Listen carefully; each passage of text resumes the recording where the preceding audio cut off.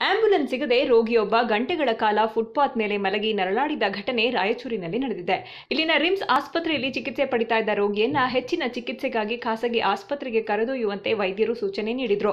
ಅಲ್ಲದೆ ಆತನನ್ನ ಕೂಡಲೇ ಡಿಸ್ಚಾರ್ಜ್ ಮಾಡಿ ಆಸ್ಪತ್ರೆಯಿಂದ ಹೊರಗೆ ಕಳುಹಿಸಿದ್ದಾರೆ. ಇನ್ನು ಖಾಸಗಿ ಆಸ್ಪತ್ರೆಗೆ ಸಾಗಿಸೋದಕ್ಕೆ ಆಂಬ್ಯುಲೆನ್ಸ್ ವ್ಯವಸ್ಥೆಯನ್ನು ಮಾಡಿಕೊಂಡಿರದ ರೋಗಿಯ ಕುಟುಂಬಸ್ಥರು ಬೇರೆ ವಿಧಿಯಿಲ್ಲದೆ ಆಸ್ಪತ್ರೆಯ ಹೊರಗೆ ಗಂಟೆಗಟ್ಟಲೆ ಮಲಗಿಸಿದ್ರು. ಮೊದಲೇ ಹೃದಯ ಸಂಬಂಧಿತ ಸಮಸ್ಯೆಯಿಂದ ಬಳಲ್ತಾ ಇದ್ದ ರೋಗಿ ಚಳಿಯಲ್ಲಿ ನಡುತ್ತಾ ಇದ್ದ.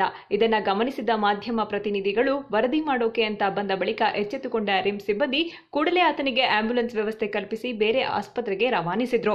ಒಟ್ನಲ್ಲಿ ರೋಗಿಯನ್ನ ಯಾವುದೇ ಸ್ಥಿತಿಯಲ್ಲಿದ್ರೂ ಆತನ ಜೀವ ಕಾಪಾಡ್ತೀವಿ ಅಂತ ಪ್ರತಿಜ್ಞೆ ಸ್ವೀಕರಿಸೋ ವೈದ್ಯರೇ ಗಂಭೀರ ಸ್ಥಿತಿಯಲ್ಲಿರೋ ರೋಗಿಯನ್ನ ಈ ರೀತಿ ನಡೆಸಿಕೊಂಡಿರೋದು ನಿಜಕ್ಕೂ ಅಮಾನವೀಯ. ಅನಿಲ್ ಕುಮಾರ್, ಕರ್ನಾಟಕ ಟಿವಿ, ರಾಯಚೂರು. ನೋಡೋದಲ್ಲ?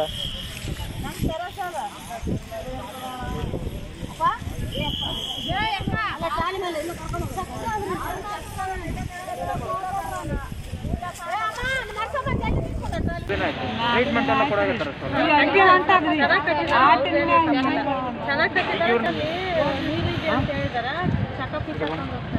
ಇದು ಹೊರಗಡೆ ಯಾ ಯಾವ ಇದೆ ಉಪಯೋಗದಾಗಿದ್ರೆ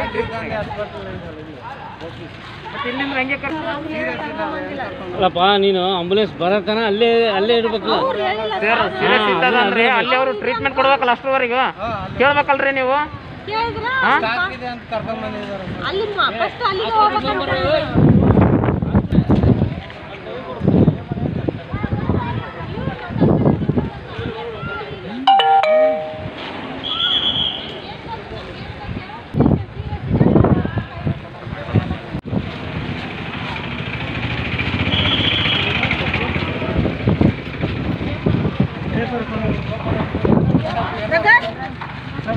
ನಿನ್ ಜೊತೆಗೆ ಒಂದು ಪೇಪರ್ ರಿಟರ್ನ್ ವಾಪಸ್